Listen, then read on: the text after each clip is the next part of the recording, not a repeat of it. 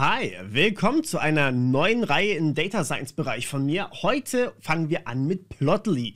Plotly ist eine äh, Bibliothek, mit der man Daten schön darstellen kann. Und ihr denkt jetzt vielleicht, Mensch, die beiden Reihen, die du da vorausgebracht hast, NumPy und Pandas, die sind absolute Voraussetzungen hierfür. Und nein, das ist es nicht.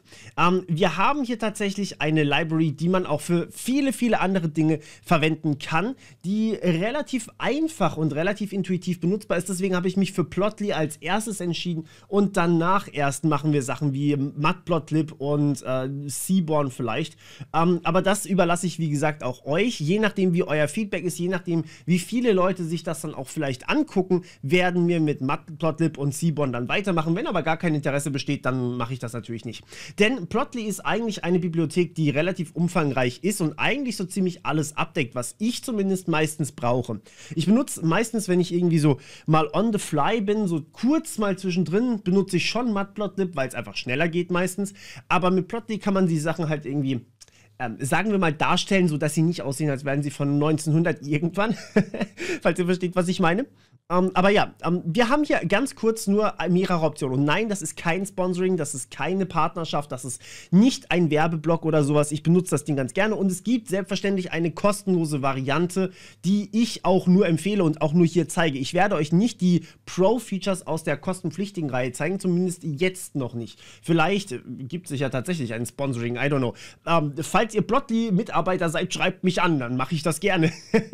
aber nein, es gibt natürlich eine zum Großteil kostenlose und vor allem auch Open Source Library, ähm, die man hier verwenden kann. Und zwar kann man mit Dash, das ist ein bisschen verwirrend, das hat nichts mit der Kryptowährung zu tun, dazu kommt wahrscheinlich von mir auch noch ein Kurs, aber ähm, hat erstmal nichts damit zu tun, sondern ist wirklich eine Data Science Bibliothek mit der man Sachen darstellen kann. So, wenn ihr hier mal durchguckt, dann seht ihr auch, okay, das ist definitiv keine kleine Library. Und was halt geil ist, man kann halt solche interaktive Sachen auch machen. Seht ihr das hier?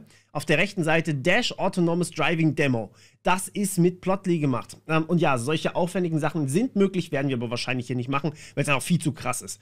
Aber ähm, zumindest grundsätzlich kann man hier wirklich sehr, sehr viel machen. Und es sieht auch ziemlich ansprechend aus teilweise.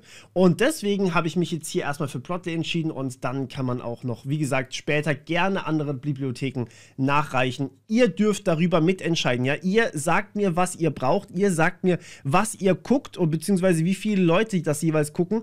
Ähm, das macht bei mir natürlich mega viel aus, ob ich da weitermache oder ob ich denke, ja gut, okay, dann hat es eh keinen Sinn, wenn nicht so viele Leute das gucken wollen. Also eure Sache. So, ich will jetzt aber dieses Video nicht nur mit Gelaber verbringen. Es tut mir sehr leid für dieses lange Intro. Aber ähm, wir wollen natürlich auch die Vorkenntnisse und so weiter abstecken.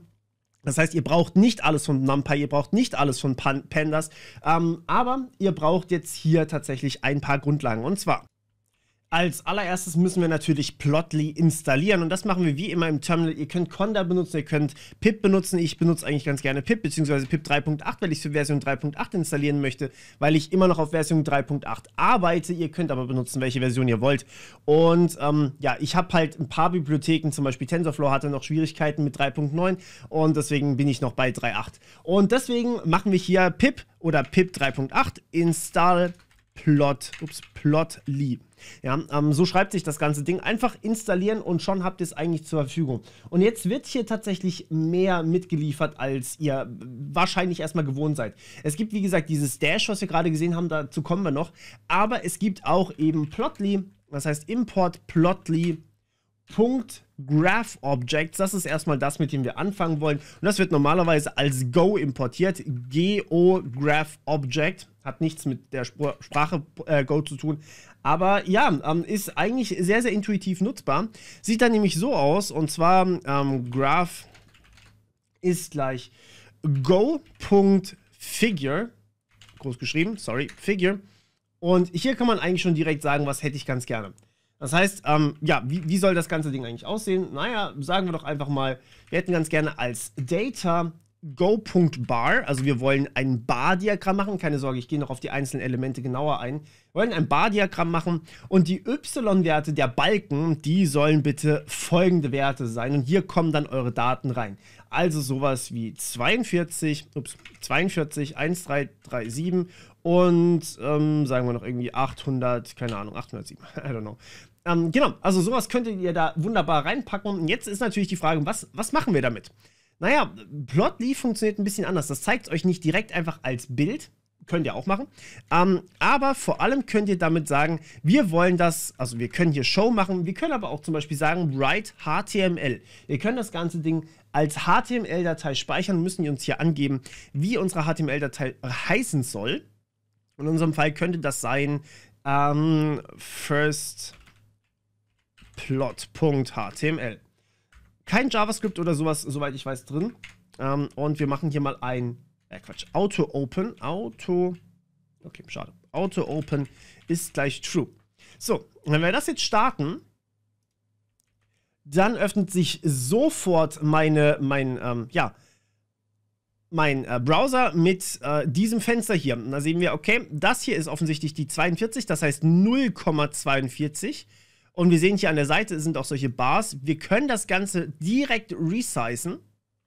Wir können hier äh, die ähm, einzelnen Balken eben resizen, wie gesagt. Wir können aber auch hier einfach Sachen markieren. Ja? Ihr seht das. Ähm, jetzt ist es allerdings wieder weg. Jetzt muss ich wieder das neu machen. Ihr könnt hier drüber hovern und sehen, wie groß die jeweiligen Balken sind und so weiter und so fort. Und dann kann ich hier quasi reinzoomen und sehe dann quasi hier einmal, äh, was eigentlich passiert ist. Ich kann hier reinzoomen und sehe dann, ah, okay, dieser Teil der Balken ist offensichtlich hier. Und ich kann einfach doppelklicken, dann bin ich wieder draußen. Also ich habe hier quasi sozusagen eine interaktive Webseite, die Achtung, nicht irgendwo gehostet ist. Das ist jetzt nicht für jeden im Internet erreichbar, sondern das ist nur für mich. Also ich habe hier wirklich nur das Ganze bei mir lokal als HTML-Datei. Das heißt aber auch, ich kann die HTML-Datei einfach weitergeben. Ja?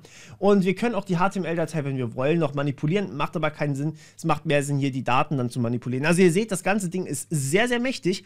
Und äh, wir können auch gerne mal die HTML hier aufmachen. Ähm, sieht dann so aus und ist echt eine große Datei. Und übrigens, ich habe gelogen, es gibt doch JavaScript, das tut mir sehr leid. Ähm, aber ja, wir haben hier eigentlich die HTML-Datei, die wir hier verwenden können. Und äh, naja, im Endeffekt auch alles da, darin lesen können. Aber es ist wie gesagt nur eine Datei, ihr könnt die weiterschicken und so weiter und so fort. Deswegen finde ich das eigentlich eine sehr, sehr angenehme Sache. Ähm, alternativ würde ich euch ganz gerne noch eine Sache zeigen. Falls ihr jetzt keine HTML-Datei jedes Mal haben wollt, das wird wahrscheinlich bei uns jetzt meistens der Fall sein. Wir wollen nicht hier 100.000 HTMLs rumliegen haben, weil wir es nicht weitergeben wollen. Wir können das Ganze auch lokal bei uns kurz hosten, sozusagen. Und das geht selbstverständlich auch, wenn ihr das Ganze einfach so weitergeben wollt. Ähm, das bedeutet, wir können hierher gehen und sagen graph, graph.show das wäre die zweite Funktion, die ich euch zeigen möchte. Dann äh, markiere ich das hier mal kurz als Kommentar und starte das und dann sehen wir, Bram, da ist es, ja. Also das ist genau dasselbe. Der Unterschied ist jetzt hier, das hier greift auf die HTML-Datei zu. Das hier ist lokal bei uns auf einem Localhost auf Port 51.986 gehostet und ist quasi genau dasselbe, ja. Aber wenn ich jetzt hier das Ganze quasi ähm, weitergeben möchte, brauche ich natürlich die HTML. Wenn ich sie aber nur kurz angucken möchte, dann reicht das völlig aus für mich. Und ja, sowas ist sehr, sehr praktisch und ja, das werden wir noch häufiger benutzen. Okay, in dem Sinne war es das von meiner Seite als kleine Einführung. Ich hoffe, das ist fein für euch, dass ich hier Plotly benutze. Vielleicht kennen das noch nicht ganz so viele Leute. Vielleicht kann ich dann auch den Leuten, die im Data Science Bereich schon tätig sind und bei mir zugucken, noch ein bisschen was Neues beibringen. Und ja, wir hören uns wieder beim nächsten Mal. Bis dann. Ciao.